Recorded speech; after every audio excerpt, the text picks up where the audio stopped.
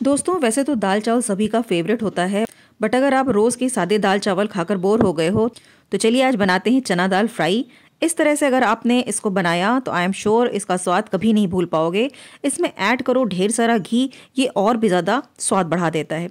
वैसे तो आप इसे ऐसे भी चावल के साथ खा सकते हैं बट मैंने यहाँ पर इसके साथ बनाए हैं ये उबले आलू फ्राई बिल्कुल सिंपल तरीके से नमक, सूखी धनिया, हल्दी और लाल मिर्च डालकर ये इस मील को कंप्लीट कर देता है और साथ में सैलड तो चलिए इसको बनाना स्टार्ट करते हैं और देख लेते हैं हमें इसके लिए क्या क्या चीज़ों की ज़रूरत पड़ेगी।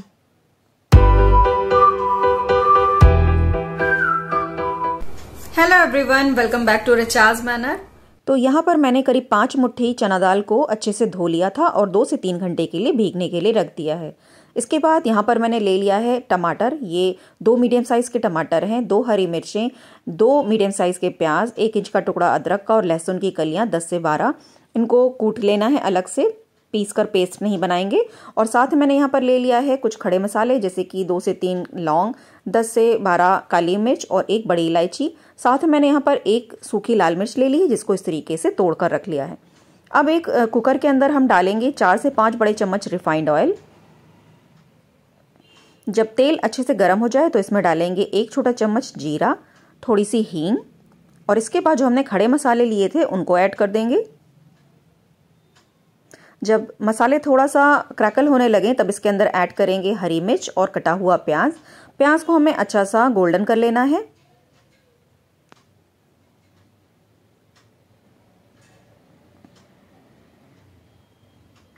प्याज जब थोड़ा सा भुन जाए, तब हम इसमें जो हमने अदरक और लहसुन कूट कर रखा था, उसको ऐड कर देंगे और इसको भी हम प्याज के साथ थोड़ी देर तक और भूनेंगे। जब प्याज आपको इस तरीके से गोल्डन सा होकर दिखाई देने लगे, तब हम इसके अंदर ऐड करेंगे टमाटर और टमाटर को अच्छे से मिक्स कर देंगे मसाले के साथ और इसमें डालेंगे हम दो छोटे चम्मच नमक और अच्छे से मिक्स करने के बाद हम इसको थोड़ी देर के लिए इसी तरीके से पकाएँगे जिससे कि अच्छे से मैशी सा हो जाए। तो आप देख सकते हो कि टमाटर अच्छे से मैशी सा हो गया है और बिल्कुल अच्छे से पक गया है। तो अब हम इसके अंदर सूखे मसाले ऐड करेंगे। तो यहाँ पर मैं एक छोटा चम्मच हल्दी पाउडर ऐड कर रही हूँ, एक छोटा चम्मच सब्ज़ी मसाला, एक छोटा चम्मच गरम मसाला। इन सब चीज़ों को अच्छी तरीके से मिक्स कर दे मसालों के साथ और आधे मिनट के करीब भून लें। उसके बाद हम इसके अंदर जो भिगाकर हमने चना दाल रखी थी, उसको ऐड कर देंगे और अच्छे तरीके से चला लेंगे। अब दाल के अंदर हम ऐड करेंगे पानी। तो नमक चूँकि हमने पहले ही ऐड कर दिया है पूरी दाल के हिसाब से तो अब हम अलग से नमक ऐड नहीं करेंगे।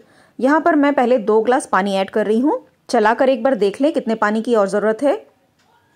तो अभी मुझे लग रहा है एक ग्लास पानी इसमें और लगेगा तो यहाँ पर मैंने टोटल तीन ग्लास पानी का यूज़ कर लिया है।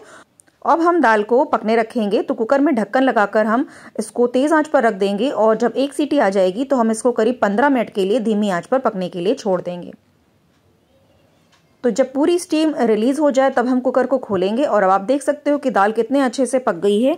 इसको आप थोड़ा सा किसी भी जो है चमचे की हेल्प से थोड़ा थोड़ा सा इस तरीके से मैश कर दीजिए, जिससे कि अच्छे से घुट जाएगी और बस हमारी दाल सर्व करने के लिए रेडी है। इसको हम गार्निश करेंगे कटे हुए हरे धनिए से। दाल में आप ढेर सारा घी ऐड कीजिए और और इसको बॉइल्ड राइस के साथ सर्व कीजिए। इसके साथ, जैसे मैंने आपको पहले ही बताया, मैंने बॉयल्ड आलू फ्राई करके बनाए हैं। रेसिपी बहुत ही सिंपल है, जैसे घरों में बनती है, उसी तरीके से है। साथ में मैंने सैलड सर्व किया है, प्याज और टमाटर।